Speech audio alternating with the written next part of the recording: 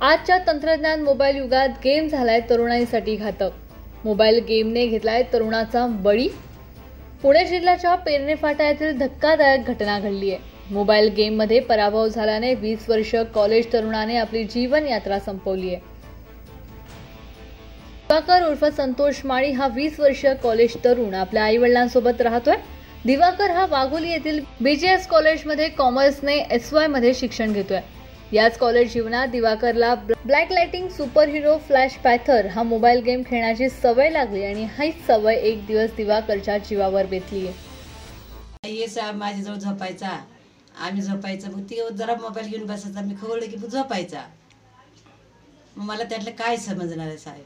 नेहमीप्रमाणे दिवाकर अठरा तारखेच्या पहाटे मोबाईल गेम खेळत होता आणि हा गेममध्ये पराभव झाल्याने हा पराभव दिवाकरच्या इतका जिव्हारी लागला की त्याने आपल्या राहत्या घरातच गळफास घेऊन आपली जीवनयात्रा संपवली आहे. यानंतर पोलिसांनी घराची झडती घेतली असता पोलिसांना एक चिठ्ठी सापडली आहे. या चिठ्ठीमध्ये our sun will shine again पिंजऱ्यातील black panther free झाला. आता कसल्याच बंधनात राहिला नाही. द एंड असा मजकूर. तसाच एक कसल्याचा कोड लिहिलेला आढळलाय.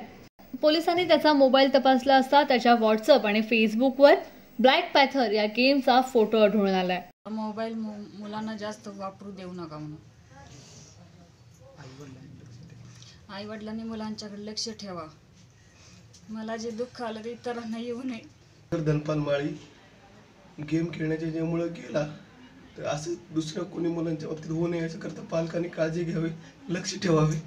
जे माझ्या बाबतीत घडलं ते दुसऱ्या कोणाच्या बाबतीत मुलाच्या बाबतीत घडू नये याची काळजी घ्यावी.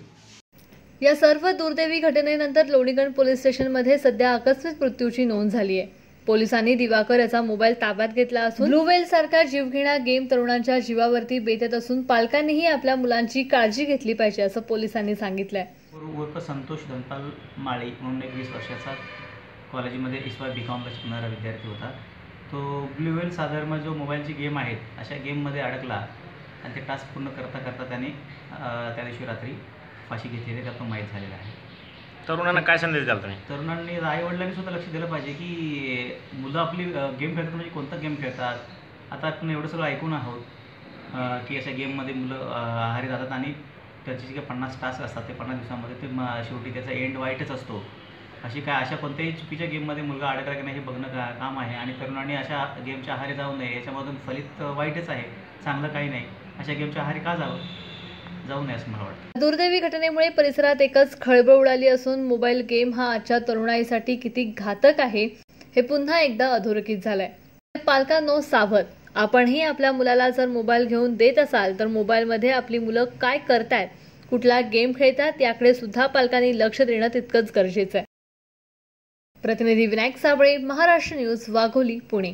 व्हिडिओ पाहण्यासाठी सबस्क्राईब करा बेल आयकॉन दाबा आणि पहा महाराष्ट्र न्यूज.